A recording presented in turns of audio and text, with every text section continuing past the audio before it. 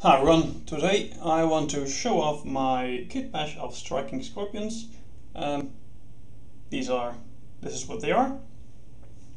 I'm quite happy with them um, and you probably want to know how to make them, so let's get into it. Um, first is the body. The body is um, from the Incubi set. Uh, obviously these ones are a lot more spiky, so remove the spikes, remove the heads, the things they have on their backs, um, and the large dangling armor plates they have between their legs and on their butts. Uh, because big dangling armor plates are not stealthy at all, and scorpions are supposed to be stealthy. Um, also, um, we've got better uses for them, uh, as you can see. There's a hand guard there, and the back of the helmet of the uh, Exarch. Um, so yeah, then you have a um, nice scorpion looking um, piece of armor. Um, add uh, Shuriken pistols from whatever you have. Uh, this one is from the uh, Harlequins, this one's from Dire Avengers, also Dire Avengers. Uh, is um, also Dire Avengers, but it was a Shuriken catapult that's been uh, uh, sawed off. Um, and this one doesn't have any. Uh, I did put one on his hip at first, but didn't like how it looked once painted, so removed it, replaced it with a pouch. Um, then the other major thing is the hat, which comes from a Guardian kit, like this one. You take a file and you cave in his forehead by filing it down. Um, it's pretty quick, pretty easy, and looks quite like second edition or Rogue Trader, I believe, actually, uh, Striking Scorpions, which I like better than the current ones. Um, you're gonna have to add some mandiblasters, use whatever you have. Um, I used some plastic cards, but you could use like a tack, perhaps. Um, though if you do, I would recommend filing down the point, so you don't hurt yourself and bleed all, all over the models whenever you pick them up. Um, other major thing is the uh, chain sword, of course.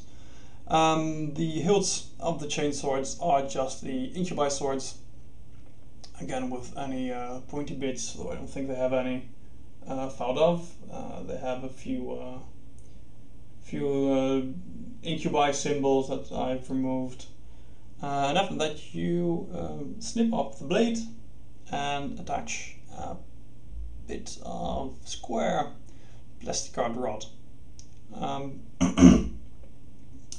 then make a nice point to them, just uh, sand off the edge into a round, well, round it off. Um, but you need teeth, right? So how do you do that? Well, it's a simple case of putting some green stuff on them and making something like this to imprint the, uh, the teeth into the blade like this. And then you, um, with, a, with a hobby knife, you can uh, remove any excess that uh, spilled to the sides.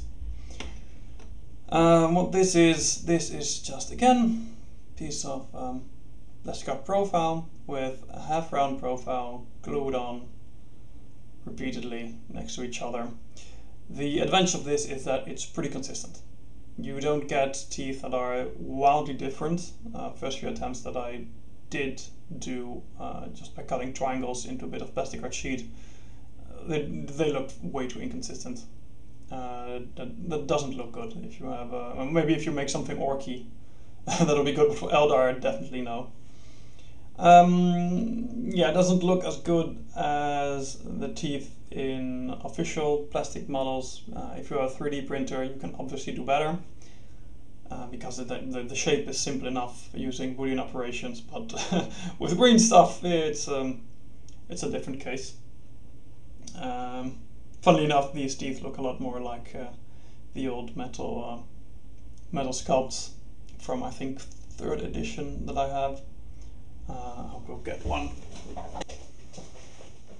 There it is. These teeth also not as detailed as uh, as what we have in Chainsword right now. If you can find a Chainsword that fits, then uh, go for it.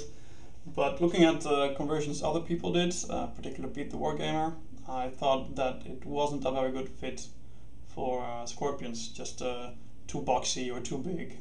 Not not the kind of um, well, almost elegant if uh, if a chainsaw can ever be elegant.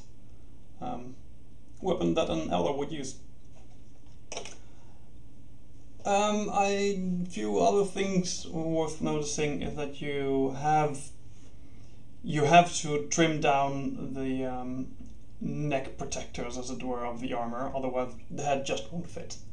Um, even despite that, I did um, put a bit of green stuff to um, raise the head a bit.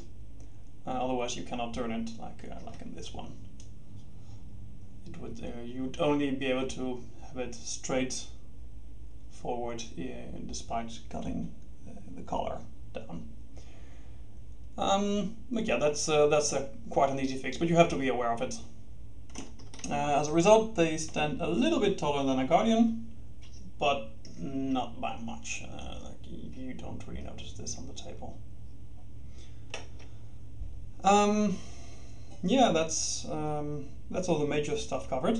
Um, I did add the Guardian um, thingies on their backs to make them a bit more craft worldy rather than uh, Drukhari. Um, sculpted the tassels on the legs and arms as is traditional for Eldar units. They have the 3 and 3, the Scorpions. Um, well, obviously the ammo and grenades, which I do believe they have, taken from either Guardians or uh, Dire Avengers. Uh, the pouch is something I sculpted myself. It's a lot easier than you might think. There's a good tutorial by Tom Mason about how to do it, which I followed, and I'll post it in the um, video description. Yeah, that's about it. Um, the Exarch obviously has a few special things. The helmet is not from a Guardian, it's from the Dire Avengers Exarch. And the on the back, as I said, is one of the uh, butt plates. or perhaps the front one, I'm not sure. Uh, one of the dangling plates that comes with the Incubi set and the front is just sculpted with green stuff. Also a lot easier than it looks. Um, yeah, just put it uh, in there and use any uh, any edged tool really to. Um, uh, let me. See, I don't have any one on hand. Uh, use any edge tool to make the ridges. Um, it's not hard really isn't, uh, which was a nice surprise because maybe I'll go sculpting a um, Phoenix Lord with that. Uh, I don't know. Sounds interesting. Uh, arms also are from Dire Avengers. This one was a bit uh, thicker arms as a result of that, which I thought was uh, was fitting. Um, yeah, the um, Incubi kit, really nice for this. Um, like they even even make sense in lore, and they even come with the little striking scorpions uh, shrine. So yeah, they're pretty much perfect. Um, let me know what you think of the video. Uh, if you've made them yourself, definitely let me know. I'd love to hear that. Uh, if anyone thought, yeah, that's a good idea, I'm gonna do them as well. It would make me really happy. Um, yeah, let me just know what you think in the comments.